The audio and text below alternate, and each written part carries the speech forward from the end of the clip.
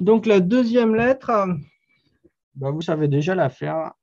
On refait un délié pour avoir notre petit trait. On va chercher la verticalité. Donc je touche la ligne, je vais viser la pointe et je ne vais pas aller jusqu'en bas. Il y en a qui vont me faire ça, ce n'est pas bon. Je vais ralentir et tourner maintenant. Il n'y a pas beaucoup de différence, je sais, mais il y a une différence. Là, on a été jusqu'en bas. Et là, j'ai anticipé. Et avant d'arriver en bas, je tourne.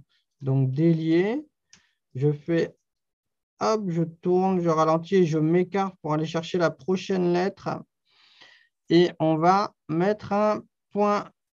Souvent, vous négligez le point. Il n'est pas rare que je vois ça. Ça ne va pas du tout. On a fait toute notre lettre, on a bien fait. D'un seul coup, on est en train de gâcher. Donc, prenez le temps. Avec le parallèle pen, vous pouvez tourner la plume, je vous ai montré tout à l'heure, et dessiner. Donc, moi, je dessine un cercle que je colorie, en fait.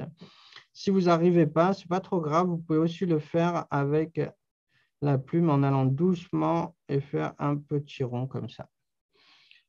Prenez le temps de placer le point. Il y en a qui vont placer le point très près. Moi, je n'aime pas trop quand c'est trop près, mais trop loin, ce n'est pas bon non plus. Donc, il faut trouver la bonne distance pour placer le point.